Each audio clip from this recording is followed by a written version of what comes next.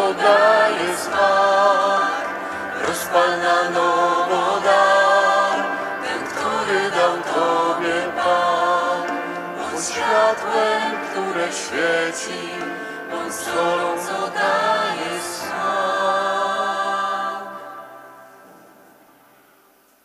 W imię Ojca i Syna i Ducha Świętego.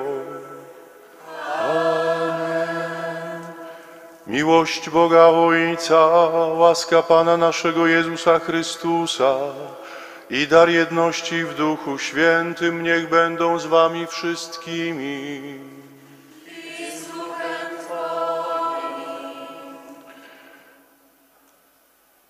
Bądź światłem, bądź solą, śpiewaliśmy na rozpoczęcie tej Eucharystii.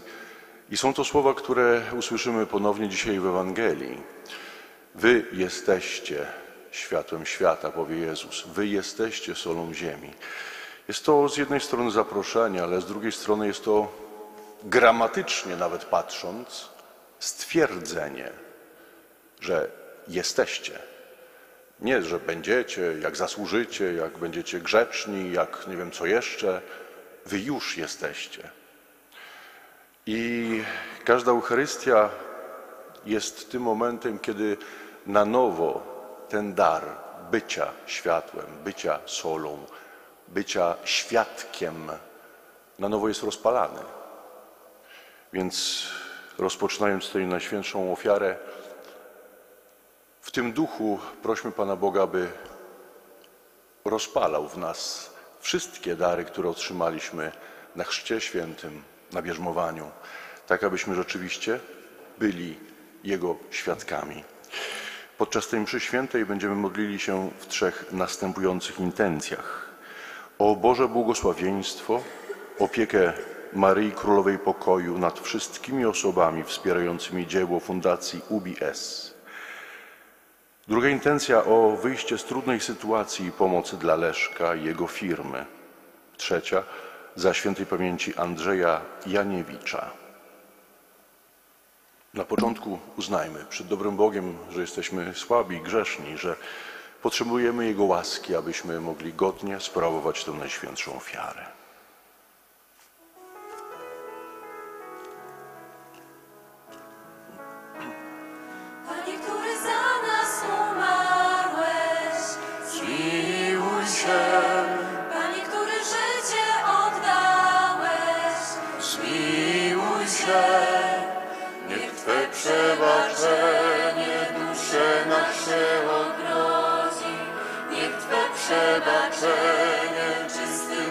Dzieckiem uczyni nas.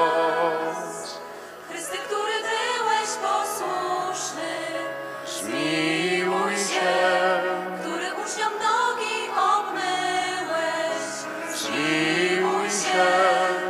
Niech Twe przebaczenie dusze nasze odrodzi. Niech Twe przebaczenie dzieckiem uczyni nas. Panie Synu Boga żywego, zmiłuj się. Panie dawco życia, nadziei, zmiłuj się. Niech Twe przebaczenie dusze nasze. Twe przebaczenie czystym dzieckiem uczyni nas. Chwała na wysokości Bogu, a na ziemi pokój ludziom dobrej woli. Chwalimy Cię, błogosławimy Cię, wielbimy Cię, wysławiamy Cię. Dzięki Ci składamy, bo wielka jest chwała Twoja. Panie Boże, Królu nieba, Boże Ojcze Wszechmogący, Panie Synu Jednorodzony, Jezu Chryste, Panie Boże, Baranku Boży, Synu Ojca, który gładzisz grzechy świata, zmiłuj się nad nami. Który gładzisz grzechy świata, przyjm błaganie nasze. który siedzisz po prawicy Ojca, zmiłuj się nad nami. Albowiem tylko Tyś jest święty, tylko Tyś jest Panem, tylko Tyś najwyższy, Jezu Chryste, z Duchem Świętym, chwale Boga Ojca. Amen. Módlmy się. Wszechmogący Boże, strzeż nieustannie swojej rodziny z ojcowską dobrocią, a ponieważ całą nadzieję pokładamy w łasce niebieskiej, otaczaj nas zawsze swoją opieką. Przez naszego Pana Jezusa Chrystusa, Twojego Syna, który z Tobą żyje i króluje w jedności Ducha Świętego, Bóg przez wszystkie wieki wieków.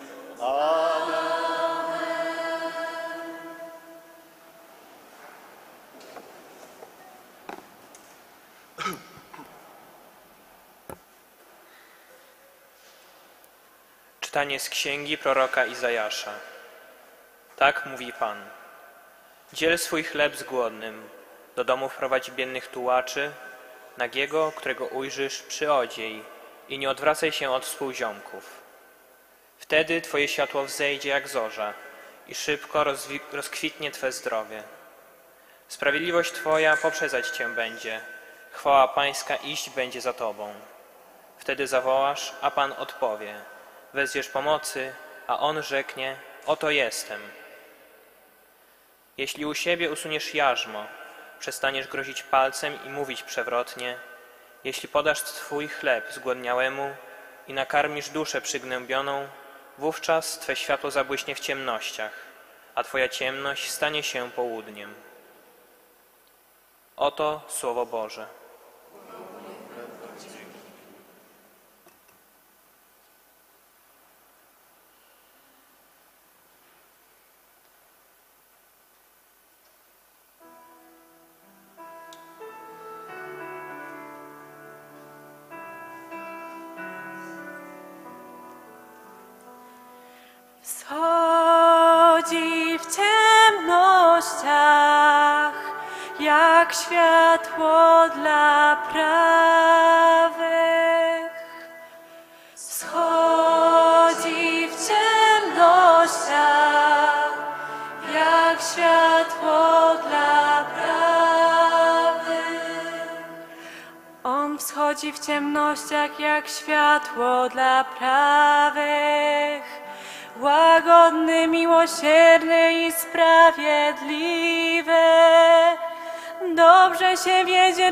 Człowiekowi, który z litości pożycza i swoimi sprawami zarządza uczciwie.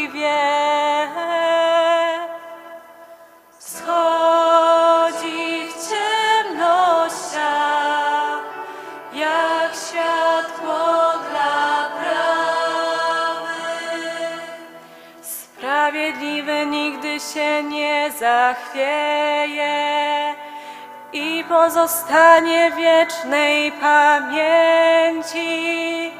Nie przelęknie się złej nowiny. Jego mocne serce zaufało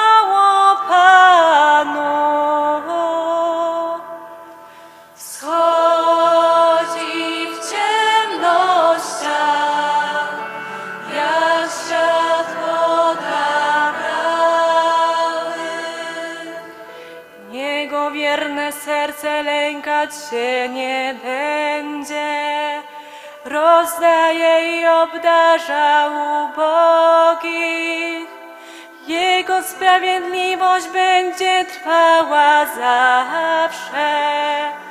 Wywyższona z chwałą będzie Jego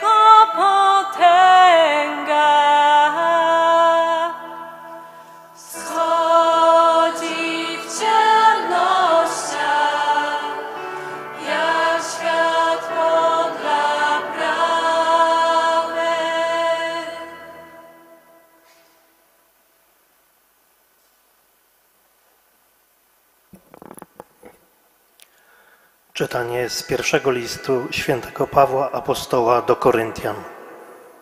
Bracia, przyszedłszy do was, nie przybyłem, aby błyszcząc słowem i mądrością głosić wam świadectwo Boże. Postanowiłem bowiem, będąc wśród was, nie znać niczego więcej, jak tylko Jezusa Chrystusa i to ukrzyżowanego. I stanąłem przed wami w słabości i w bojaźni i z wielkim drżeniem. A mowa moja i moje głoszenie nauki nie miały nic z uwodzących przekonywaniem słów mądrości, lecz były ukazywaniem ducha i mocy, aby wiara wasza opierała się nie na mądrości ludzkiej, lecz na mocy Bożej. Oto Słowo Boże.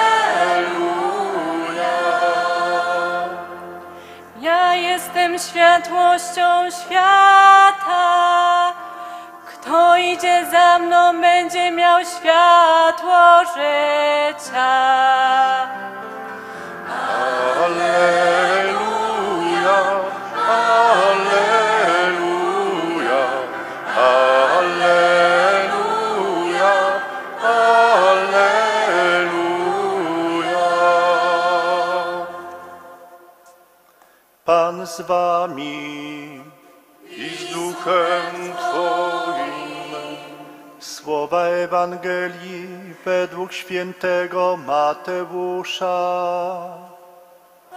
Chwała Tobie, Panie. Jezus powiedział do swoich uczniów: Wy jesteście solą ziemi.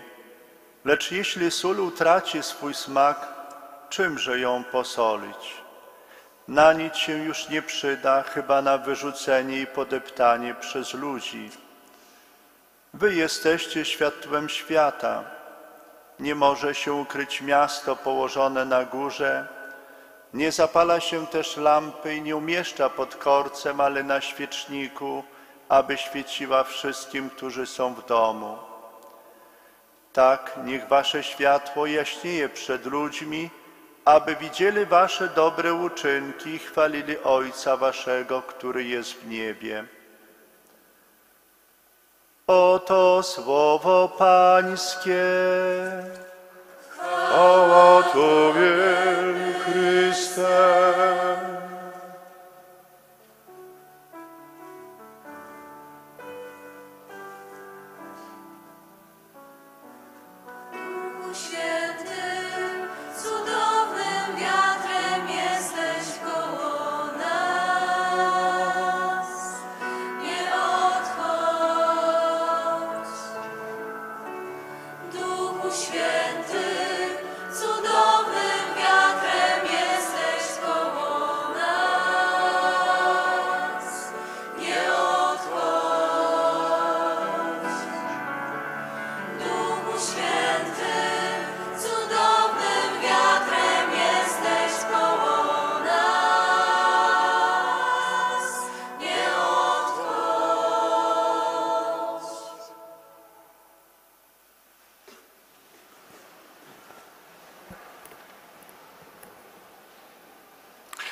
Stare powiedzenie mówi, iż słowa pouczają, czyny natomiast pociągają.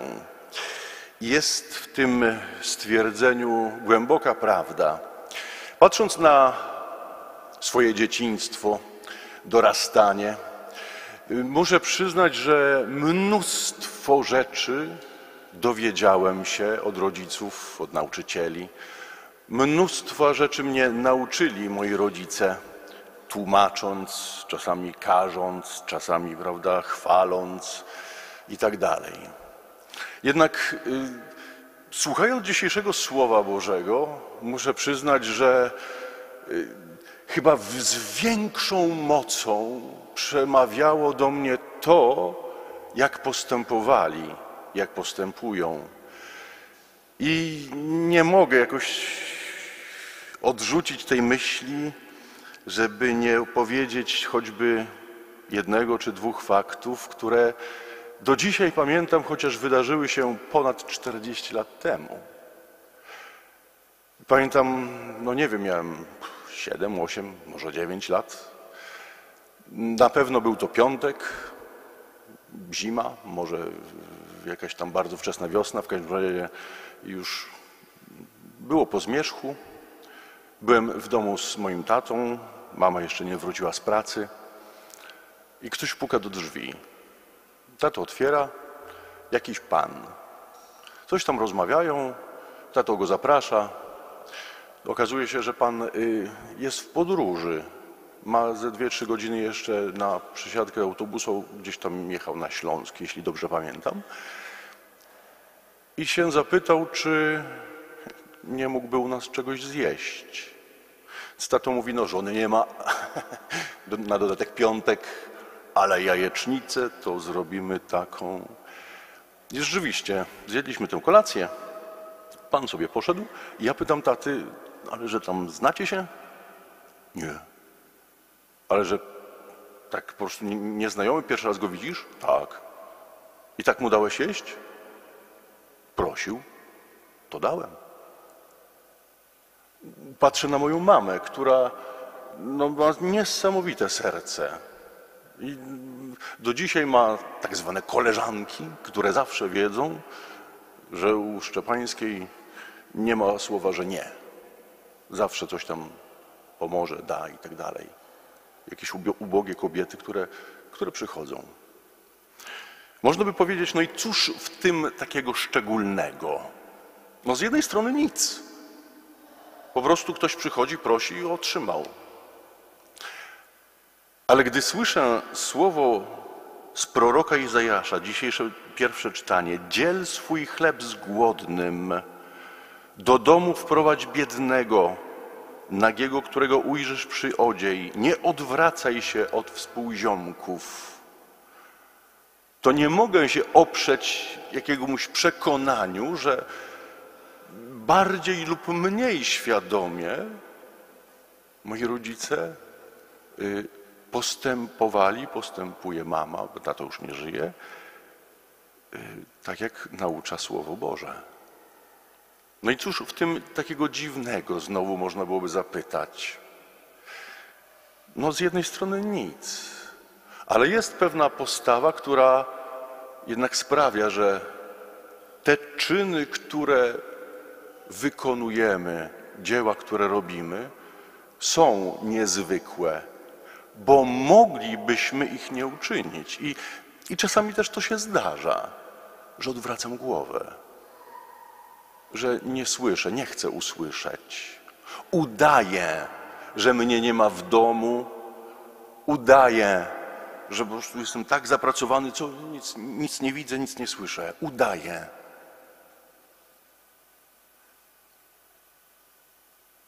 A prorok Izajasz mówi, jeśli podasz Twój chleb zgłodniałemu i nakarmisz duszę przygnębioną, wówczas Twe światło zabłyśnie w ciemnościach.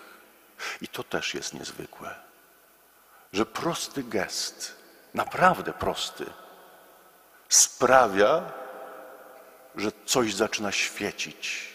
I jestem przekonany, że te czyny, takie zwykłe, które widziałem w moim domu, czy ta pomoc, czy, czy, czy no, życzliwość, miłość y, moich rodziców, to zaświecało w moim sercu, zapalał się jakiś płomień. I Jest to płomień Boży. Jest to działanie ludzkie, a zapala się coś Bożego, coś niezwykłego.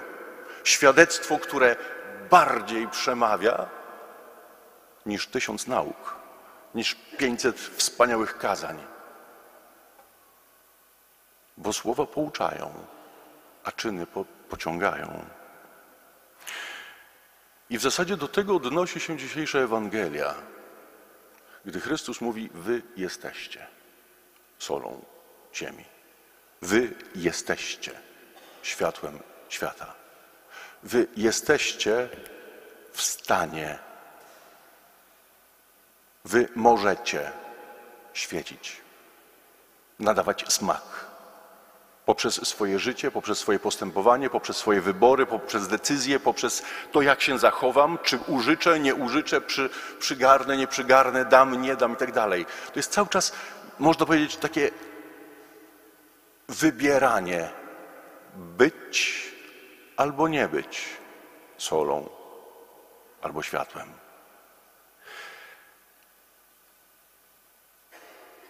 Powiedziałem wcześniej, że można udawać i wtedy się przestaje być solą. Mała reklama. W najnowszym y, numerze Rycerza Niepokalanej w komentarzu do dzisiejszej Ewangelii ojciec Tomek pisze, że ta dzisiejsza Ewangelia, która mówi nam, że wy jesteście solą ziemi, lecz jeśli sól utraci swój smak, czymże ją posolić? Ojciec Tomek zauważa, że to słowo, on tam zna wszystkie języki świata, jest biblistą, to słowo sól, która utracić ma, mogłaby swój smak, ma dwa znaczenia. Greckie słowo moraino mówi, że można utracić, albo drugie sformułowanie zgłupieć. Jeśli sól zgłupieje, czymże ją posolić? Jak to zrozumieć to słowo zgłupieć? Można byłoby to zrozumieć słowem znowu tym samym udawać. Jeśli sól zacznie udawać, że jest cukrem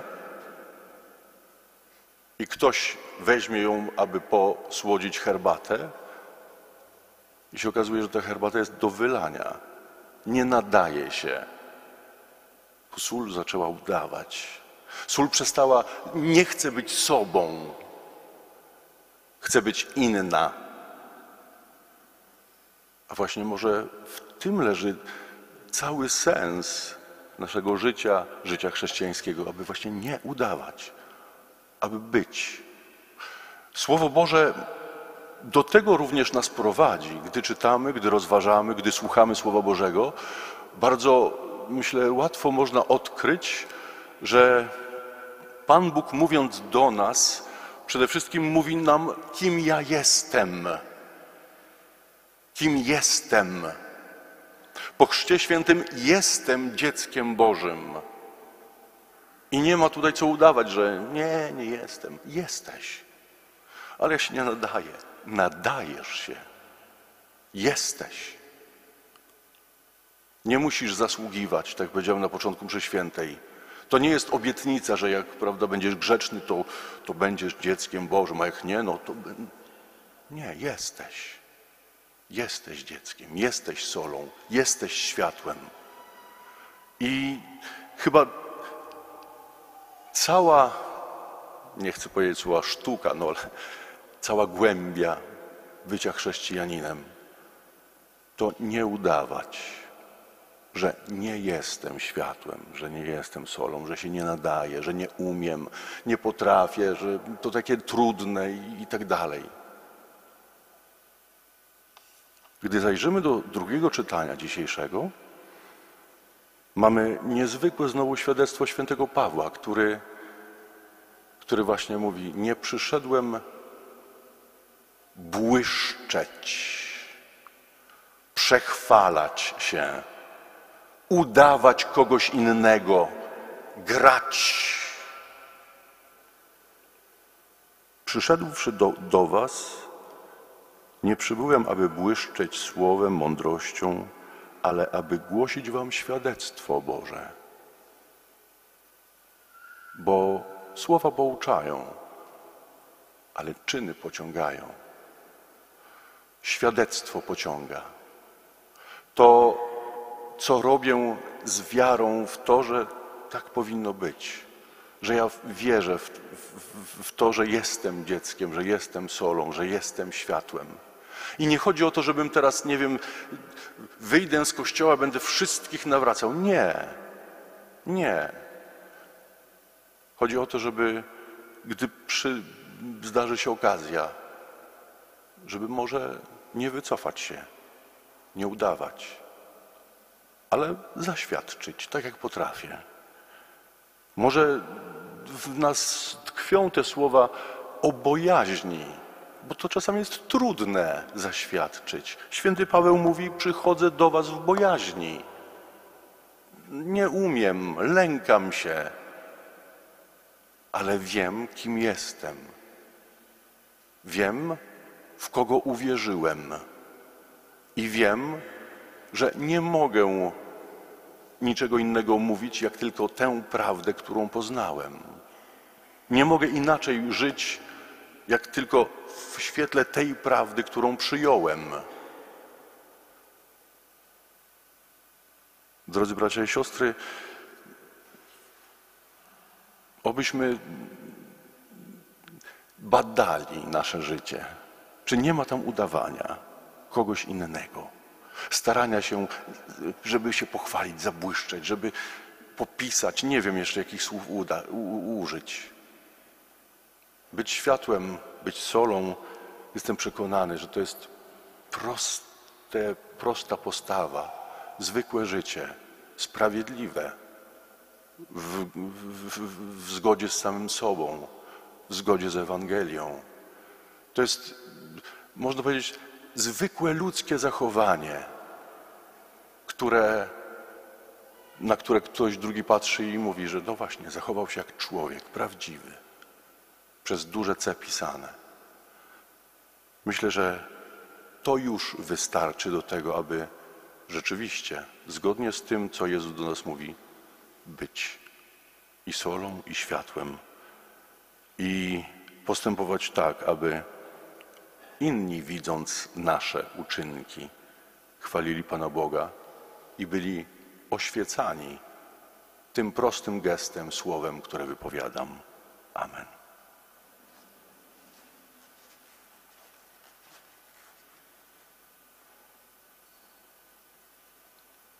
Wierzę w jednego Boga, Ojca Wszechmogącego, Stworzyciela nieba i ziemi, i wszystkich rzeczy widzialnych i niewidzialnych, i w jednego Pana Jezusa Chrystusa, Syna Bożego jednorodzonego, który z Ojca jest zrodzony przed wszystkimi wiekami, Bóg z Boga, światłość ze światłości, Bóg prawdziwy z Boga prawdziwego, zrodzony, a nie stworzony, współistotny Ojcu, a przez Niego wszystko się stało.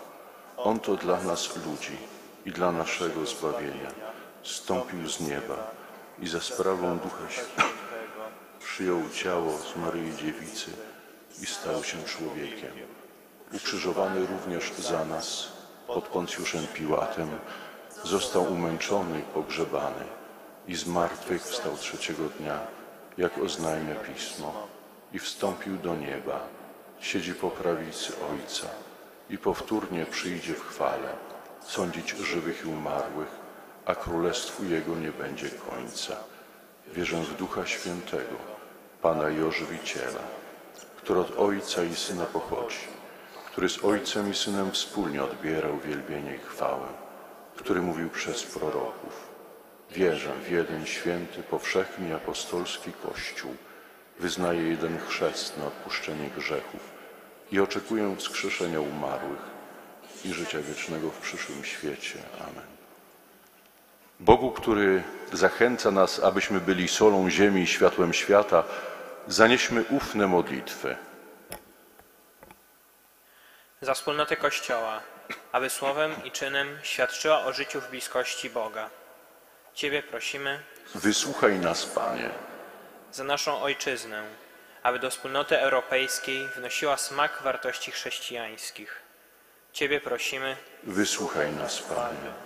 Za potrzebujących pomocy, aby na swej drodze spotkali ludzi zdolnych do spełnienia dobrych uczynków. Ciebie prosimy Wysłuchaj nas, Panie. za młodzież, aby wzrastając w świetle Ewangelii swoim życiem nie lękała się przyznawać do Jezusa. Ciebie prosimy, Wysłuchaj nas, Panie. módlmy się o, Boże, bo- o błogosławieństwo Boże i opiekę Maryi Królowej Pokoju nad wszystkimi osobami wspierającymi dzieło Fundacji UBS i o wyjście z trudnej sytuacji i pomoc dla Leszka i jego firmy. Ciebie prosimy, Wysłuchaj nas, Panie. za zmarłych z naszych rodzin, a w szczególności za świętej pamięci Andrzeja Janiewicza, aby Bóg wejrzał na dobro przez nich uczynione i przyjął ich do wiecznej radości. Ciebie prosimy Wysłuchaj nas, Panie. za nas samych, abyśmy zachowali w sobie smak wiary, a dobrymi uczynkami dali wyraźne światło szukającym Chrystusa. Ciebie prosimy, Wysłuchaj nas, Panie. Wszechmogący Boże, wysłuchaj naszych modlitw i przyjdź nam z pomocą, abyśmy trwając wiernie przy Tobie stali się znakiem dla szukających Ciebie. Przez Chrystusa Pana naszego. Amen.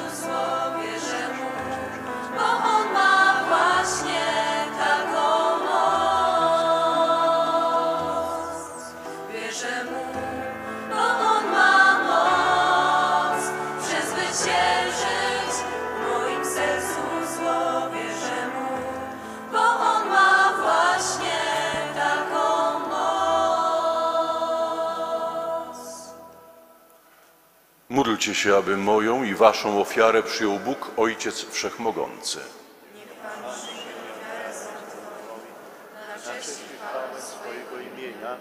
A także na pożytek nasz i całego Kościoła Świętego. Panie nasz Boże, Ty stworzyłeś chleb i wino, aby podtrzymywały nasze życie doczesne.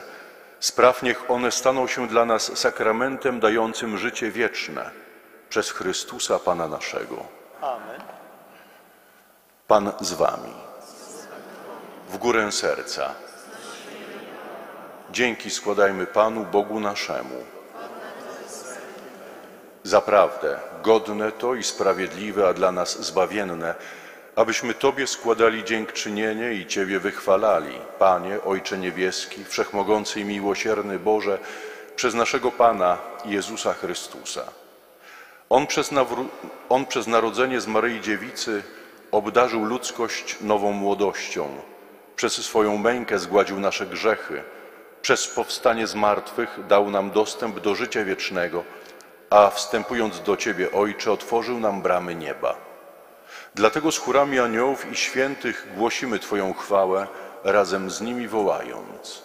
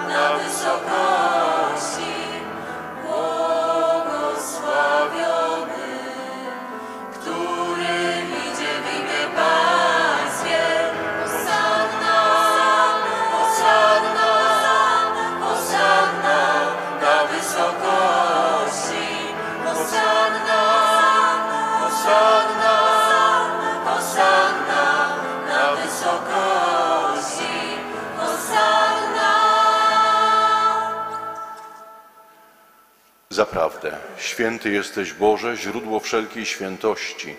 Dlatego stajemy przed Tobą i zjednoczeni z całym Kościołem uroczyście obchodzimy pierwszy dzień tygodnia, w którym Jezus Chrystus zmartwychwstał i zesłał na apostołów Ducha Świętego. Przez Chrystusa wziął chleb i dzięki Tobie składając łamał i rozdawał swoim uczniom mówiąc Bierzcie i jedzcie z tego wszyscy. To jest bowiem ciało moje, które za was będzie wydane.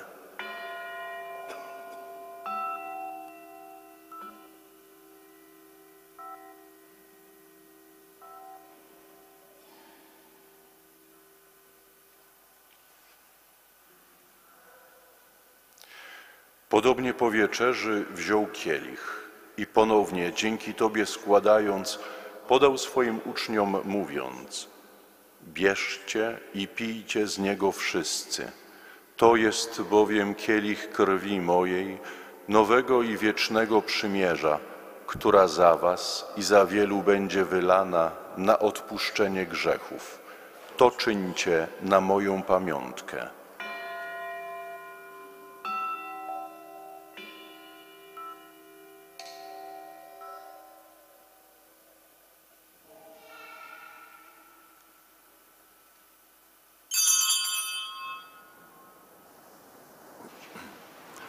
Oto wielka tajemnica wiary. Głosimy śmierć Twoją, Panie Jezu. Wyznajemy Twoje zmartwychwstanie i oczekujemy Twego przyjścia w chwale. Wspominając śmierć i zmartwychwstanie Twojego Syna, ofiarujemy Tobie, Boże, chleb życia i kielich zbawienia i dziękujemy, że nas wybrałeś, abyśmy stali przed Tobą i Tobie służyli. Pokornie błagamy, aby Duch Święty zjednoczył nas wszystkich, przyjmujących ciało i krew Chrystusa. Pamiętaj Boże o Twoim Kościele na całej ziemi. Spraw, aby lud Twój wzrastał w miłości.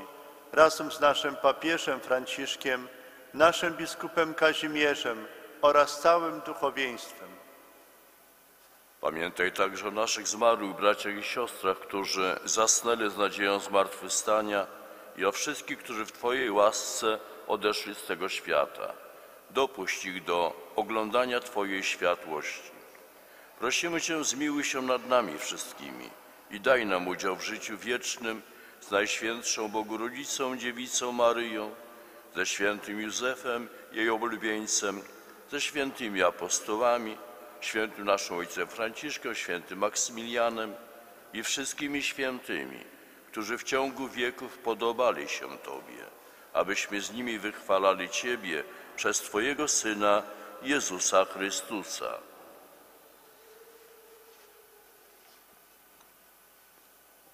Przez Chrystusa, z Chrystusem i w Chrystusie.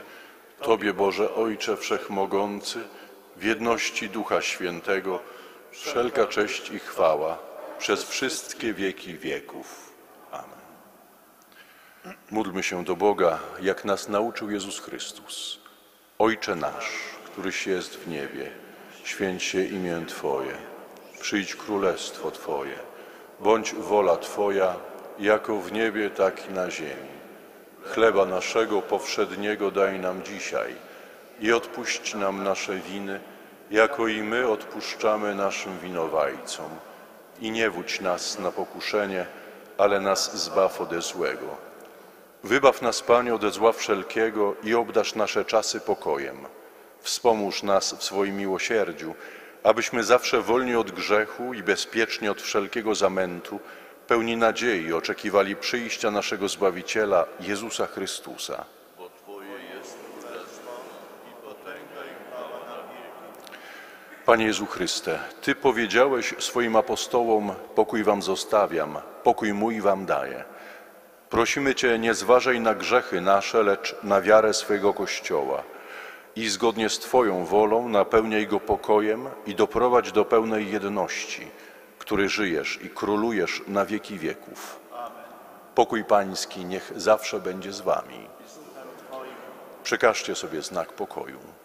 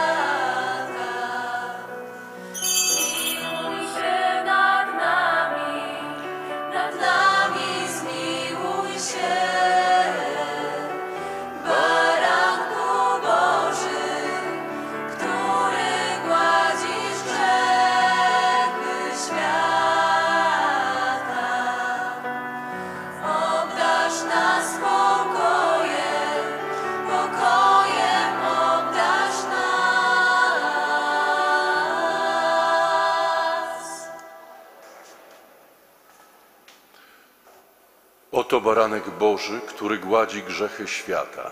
Błogosławieni, którzy zostali wezwani na Jego ucztę. Panie, nie jestem godzien, abyś przyszedł do mnie, ale powiedz tylko słowo, a będzie uzdrowiona dusza moja.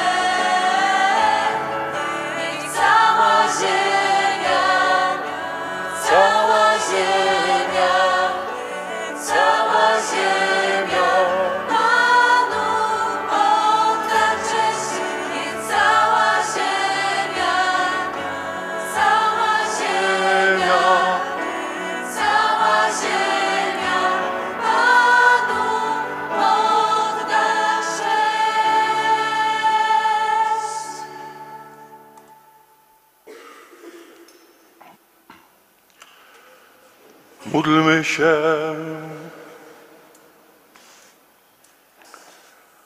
Boże, Ty pozwalasz nam spożywać jeden chleb eucharystyczny i pić z jednego kielicha. Prosimy Cię, daj nam prowadzić takie życie, abyśmy zjednoczeni w Chrystusie z radością przy, przyczyniali się do zbawienia świata przez Chrystusa Pana naszego. Kilka ogłoszeń. W tym tygodniu w liturgii wspominamy w poniedziałek świętych Piotra Chrzciciela, Pawła Miki i towarzyszy. We wtorek świętą Koletę, w piątek świętą Scholastykę. W sobotę we wspomnienie Najświętszej Marii Panny z Lourdes obchodzimy Światowy Dzień Chorego. Na mszy świętej o godzinie 11 udzielimy sakramentu namaszczenia chorych. W sobotę odbędzie się nocna pielgrzymka pokutna z Miedniewic do Niepokalanowa oraz czuwanie modlitewne w kaplicy świętego Maksymiliana. Wyjazd pielgrzymów autokarami sprzed domu parafialnego o godzinie 20. Zapisy u pani Ani Włodarczyk, telefon w gablocie. Początek czuwania o godzinie 20.30. Na zakończenie wspólna msza święta w Bazylice w niedzielę o godzinie 5.45. Także w sobotę w domu parafialnym o godzinie 19.30 kolejny wieczór uwielbienia, którego tematyką będzie tym razem doświadczenie Bożej miłości. Zapraszamy wszystkich, a zwłaszcza młodzież, do wspólnej modlitwy. W dniach od 17 do 19 lutego w naszym seminarium w Łodzi Łagiewnikach odbędzie, odbędą się rekolekcje powołaniowe. Zapraszamy młodzież, studentów, także osoby już pracujące, zainteresowane rozeznawaniem swojego powołania. Górna granica wiekowa to 35 lat. Więc więcej informacji znajdzie się na stronie internetowej parafii. Wczoraj zakończyliśmy wizytę duszpasterską. Odwiedziliśmy 2773 domy, co stanowi 78% naszej parafii.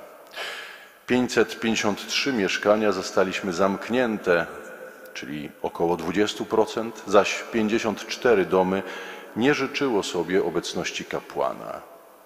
Serdecznie dziękujemy za ten wspólny czas i możliwość spotkania w Waszych domach. Dziękujemy z serca za złożone ofiary, za życzliwość i cenne uwagi.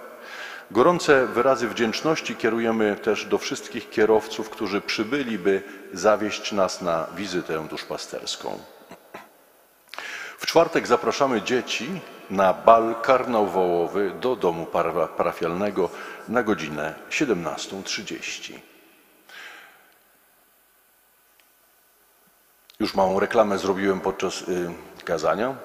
Y, Mamy nowy numer Rycerza Niepokalanej. W każdą pierwszą niedzielę miesiąca o tym mówię, że jest nowy rycerz. No więc jest nowy rycerz na miesiąc luty. W tym y, roku zaplanowaliśmy temat taki, prawda, na cały rok osiem błogosławieństw. Y, Będziemy przez kolejne miesiące rozważali, pogłębiali no właśnie świadomość, o czym Jezus mówi do nas w kazaniu na górze, gdy mówi błogosławioni ubodzy, cisi i tak dalej. Y, Nasz numer lutowy Rycerza Niepokalanej y, koncentruje się przede wszystkim jako takie wprowadzenie do tych ośmiu błogosławieństw na samym słowie błogosławieństwo. Czym ono jest? Kto błogosławi? Kto jest błogosławiony? Y, Czy błogosławieństwo to jest tylko, nie wiem, ten znak krzyża, który na końcu Eucharystii zaraz uczynię i każdy kapłan na, koń, na koniec Eucharystii mówi niech Cię błogosławi Bóg Wszechmogący, a może to jest jeszcze coś więcej, głębiej, biorąc pod uwagę, że sam Chrystus mówi błogosławcie wy, wy jak tutaj jesteście, błogosławcie, nie złorzeczcie. To sama ta, samo to słowo mówi nam, że to jest rzeczywistość niezwykle głęboka i w której każdy z nas na swój sposób uczestniczy, więc no, o, tym, o tym błogosławieniu, błogosławieństwie y, traktuje nasz rycerz mm, na miesiąc luty. Bardzo zapraszam do tego, aby, aby się zaopatrzyć w nasze czasopismo. Bracia przy wyjściu z bazyliki udostępniają rycerza, jak również rycerzyka i rycerza młodych, które również wydajemy tutaj od lat wielu, wielu w naszym niepokalanowskim klasztorze. W minionym tygodniu z naszej wspólnoty parafialnej odeszli do Pana Włodzimierz Stępień, lat 7 57 z Teresina, świętej pamięci Andrzej Wróblewski, lat 82 z Granic. Wieczny odpoczynek racz im dać, Panie. Niech odpoczywają w pokoju wiecznym. Pan z Wami. Niech Was błogosławi Bóg Wszechmogący, Ojciec i Syn i Duch Święty. Idźcie w pokoju Chrystusa.